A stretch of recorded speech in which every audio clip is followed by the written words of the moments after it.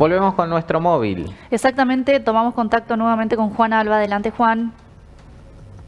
Gracias, Natalie Guille, en este caso desde la comisaría décima de la ciudad de Resistencia, porque se está buscando desde el 21 a Joana. Tiene 30 años, está desaparecida y se ha lanzado un operativo de búsqueda desde esta comisaría donde estamos nosotros, porque la última vez que se la vio a Joana González sería en zonas de la ciudad de Resistencia, más allá de que su domicilio es en Fontana. Desde el 21 su familia dice que que no tiene contacto con ella. La denuncia se hizo día después aquí en la comisaría décima y por eso este operativo que se acaba de lanzar hace minutos nada más en puntos donde van a comenzar a buscarla, en lugares en donde se habló de que la vieron a Joana. Lo vamos a saludar al comisario que está aquí con nosotros, el comisario Moreira. Nos decía, comisario, ¿cómo le va?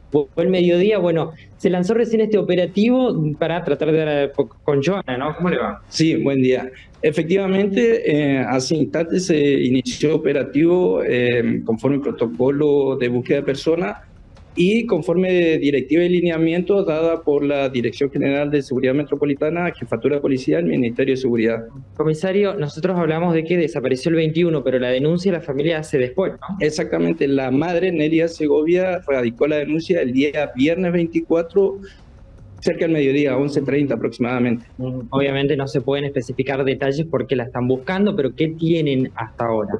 Hasta ahora lo único, hasta ahora tratamos, estamos tratando de corroborar si efectivamente fue vista la última vez, digamos, acá en inmediaciones de lo que sería el mercado central y vialidad provincial, digamos. Zona que, pertenece a esta jurisdicción. Exactamente, exactamente, por jurisdicción intervenimos nosotros.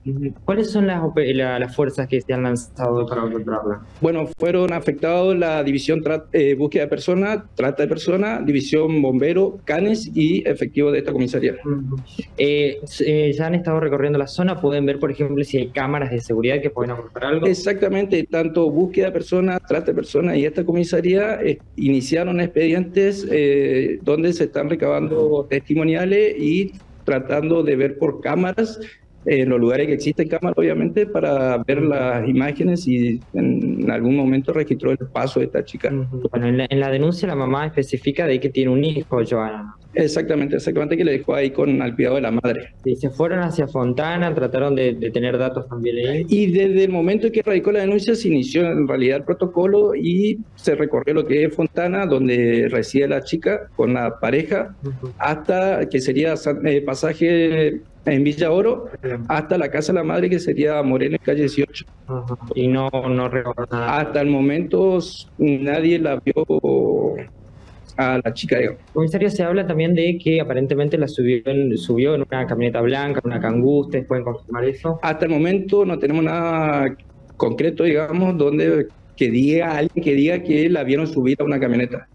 Hasta el momento no tenemos. Bueno, y el operativo va a estar durante toda la jornada de hoy. Exactamente, en realidad el operativo se está realizando desde el día viernes de que se tomó conocimiento de la desaparición de la chica. Y lo que se hace hoy es eh, unir más fuerzas para buscar. Exactamente, para tratar de recorrer todo el recorrido que suponemos que hizo la chica desde Fontana hasta la casa de la madre y hasta el, lo que sería 25 de mayo y calle 14.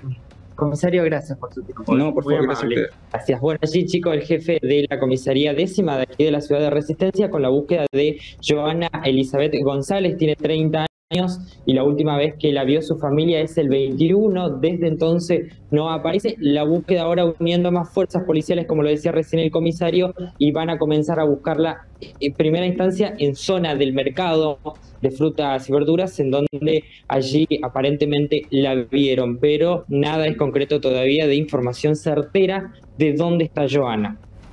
Muy bien. Juan, muchas gracias. No, por favor, Guille Natalia, hasta luego. Hasta luego.